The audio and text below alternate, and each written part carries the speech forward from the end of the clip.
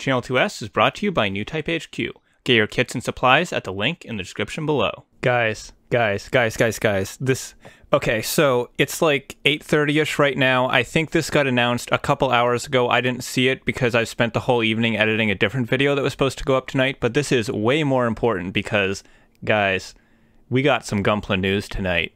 Like some big big juicy Gunpla news. I've seen pictures, I know what it is, I've seen a little bit of it. Everything I've seen about this I love so far, but I haven't seen the official promo video and I haven't gone to the official Bandai webpage for it at all because I am just so excited. I literally just heard about this and I dropped literally everything that I was doing when I heard about this because this literally is the coolest kit of 2022, hands down, period, full stop.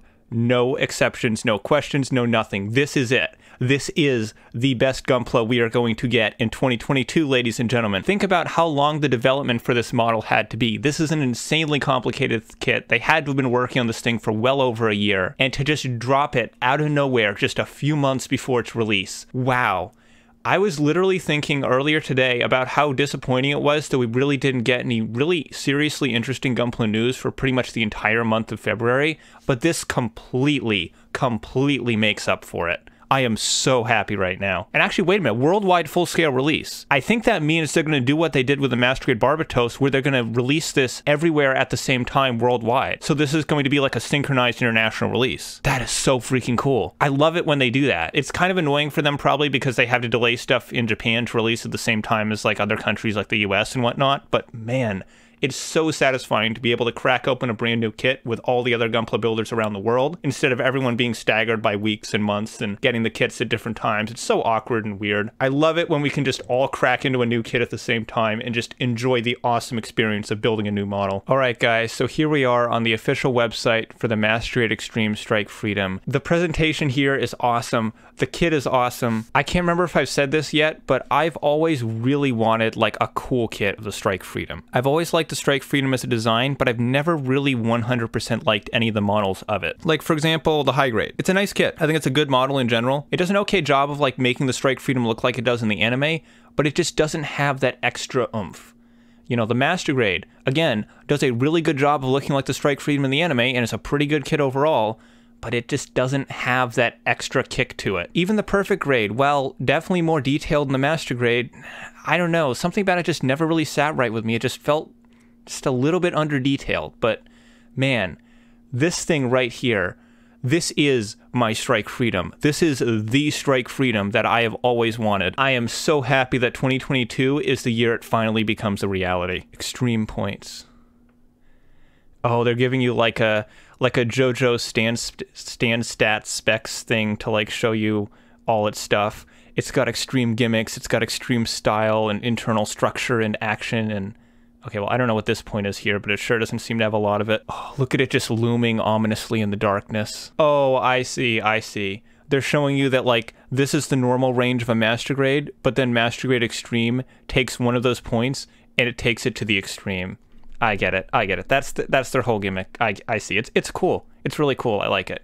So here's that video we already saw. We're not going to watch that again. Look at the bottom of the page when I scroll down.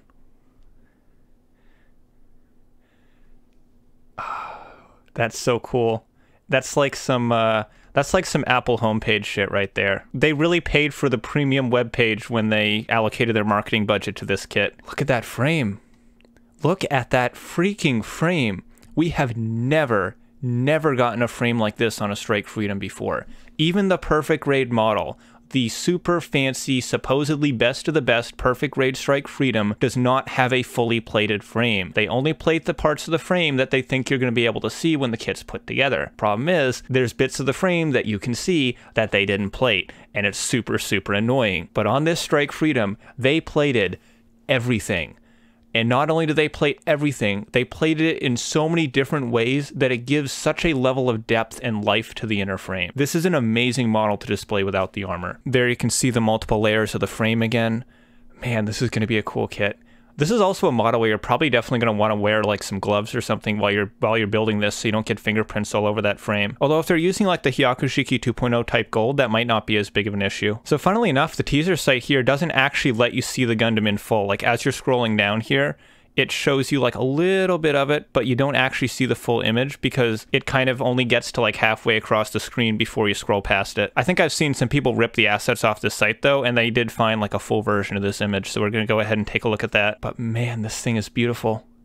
What a beautiful freaking kit. Okay, so here's the version of that image that someone ripped off the website. As you can see, the armor on this looks phenomenal. It's got a ton of detail. I love that they just added such an extreme level of detail to it without completely destroying the kit's proportions. One of the things that really annoys me about some of the newer seed master grades we've gotten is that they'll add extra detail and they'll kind of change the design a bit, but they'll also just go way too far in just screwing with the kit's proportions to the point where sometimes it doesn't even look like the original mobile suit anymore. This was a big issue I had with the Zaku Warrior, and it was a big issue I had with the Freedom 2.0. But man, did they absolutely nail it with this Strike Freedom. This is such a beautiful, beautiful looking model. Of course, it's got decals. They're very fancy and cursive I'm a big fan of very minimal decals. I don't like like the Ver.Ka markings where you have those little like white uh, little white rectangles and red dots all over the kit. I think that looks kind of tacky. I really like to just see a couple emblems or a model number on the shoulder, maybe a faction symbol on the chest. That's really all I look for as far as decals go. So even if this kit comes with like some crazy big sheet of water slides or something, I'm probably just going to end up applying a few of them. And actually, speaking of water slides, I don't know if the Master Grade Extreme Unicorn came with water slides or not. I know that's not a thing that they really do much with Master Grades anymore, but seeing as this is Master Grade Extreme, I would honestly hope they did. So yeah, really hope they include include water slides with this, but if they don't, it's Bandai, so I'm not really surprised. Man, it's been a while since I've done an entire episode of Gunpla News about just one single kit, but I mean, you saw the video, guys. You saw the web page. This one kit 100% deserves a Gunpla News episode all of its own. What an incredible, incredible model. Obviously, it goes without saying, I'm getting my hands on one of these as soon as I possibly can. I know I still haven't reviewed the Hi-Nu yet. I promise it's coming out later this month, and that is a real promise because I'm kind of sort of contractually obligated to release it later this month for reasons that you'll see when the video comes out. But man, this kit is something else. I am so excited. I have not been this excited for a new model kit release in a very mm-hmm. long time. So thanks for watching, guys. If you're as hyped for the Strike Freedom as I am, please leave a like on this video. It helps it do better in the algorithm. And if you go ahead and subscribe for more Gunpla news and other Gunpla content, that'd be awesome as well. And as always, I'm Second Soundwave, and I'll see you next time. Take care, guys.